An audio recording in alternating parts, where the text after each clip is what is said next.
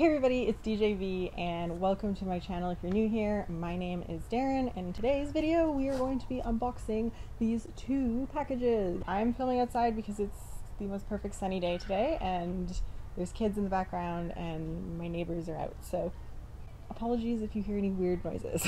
this is the Breyer Collectors Club Shelby and he was a gambler's choice. Shelby is on the Nakota mold and if you know me at all Nakota is like my favorite Breyer mold, and this was a gambler's choice. So they came in three variations. Oh my god.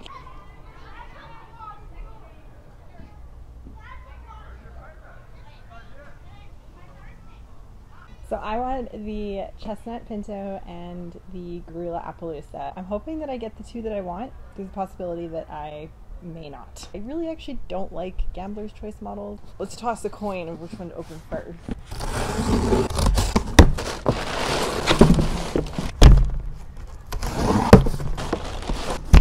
Alright, the moment of truth.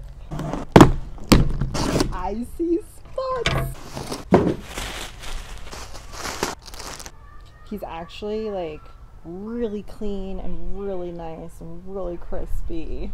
He's really pretty. I'm so happy that I got him. I'll do close-ups after. Can we go for two for two? And will this be the one that I'm looking for? I'll be able to see as soon as I open it whether it has spots or not.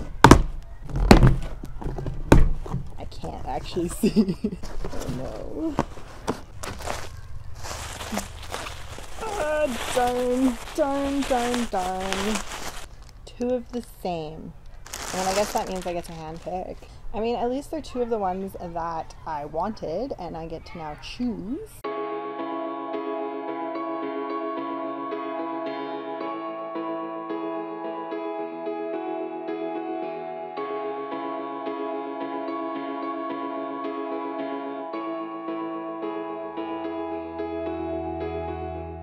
I guess sometimes you just don't get lucky, but that's okay.